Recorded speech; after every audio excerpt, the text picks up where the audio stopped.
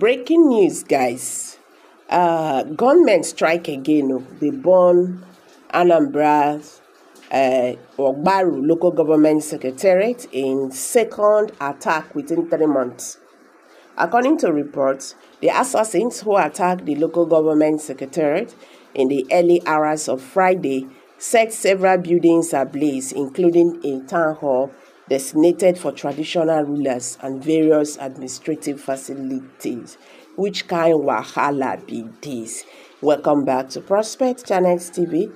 Thank you for always stopping by. If you're just joining us, please kindly subscribe to this channel and don't forget to give us a thumbs up. Nigerians, now don't they see the matter now? Say this matter don't come off or be careful. These people they keep on uh, attacking every now and then you get they keep on attacking and as it is right now you see say the attack e no wan stop anambra state police command has confirmed that a large group of gunmen attacked and burned down the secretariat of ogbaru local government in the state hmm. according to reports the assassins who attacked the local government Secretariat in the early hours of Friday set several buildings are ablaze, including a town hall designated for traditional rulers and various administrative facilities. The spokesperson for the State Police Command, SP Tochukwu Ikenga, confirmed the incident to Sahara reporters on Friday, saying, Attack on Ogbaru local government area. In the early hours of today, 30th of August 2024. The security operatives gallantly resisted the gunmen. Uh, some local government properties were destroyed, some buildings were affected, and no life, life was lost, as joint security operation is still ongoing. Though no uh, uh, casualties have been reported so far, witnesses told the Punch the attackers fired indiscriminately into the air causing widespread panic among residents. One witness said around 5 a.m., about 30 gunmen emerged from the bushes chanting as they stormed the local government secretariat and fired shots into the air.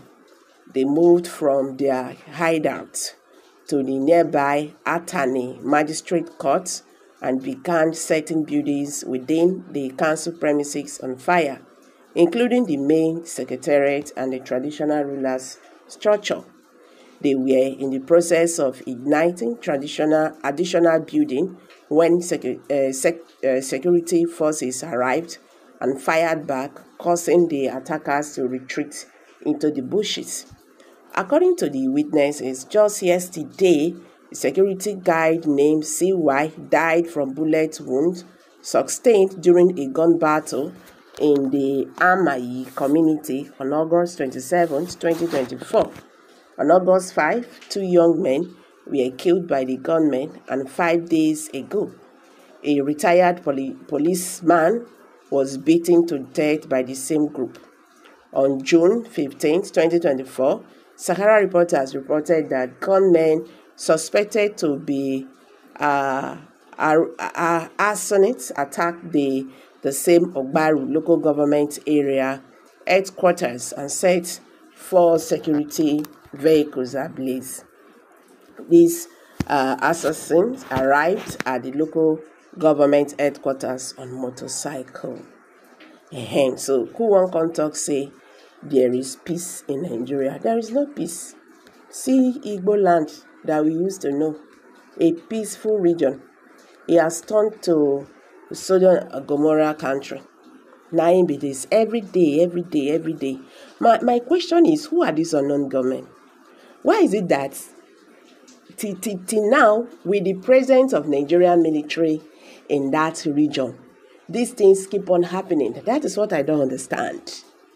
Because that place is full, those regions, they are filled up with soldiers. Why are these people still, you know, having their ways? IPOB, they will say IPOB. When it happens like this, they say IPOB na then do am.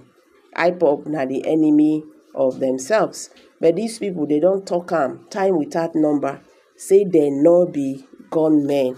They are not those people who are, uh, you know, uh, causing problems in the southeast. Now the question is, who are these people, and what do they really want? You understand? Because this is getting out of hands, destroying these things that is meant for them. You understand? The government is still going to spend money for all this again. So I think it's high time the government should look into the issues in the southeast and address it. Make all this wahala stop for once. Because as you can see, is these problems are not ready to stop until the government of Nigeria stop it by themselves.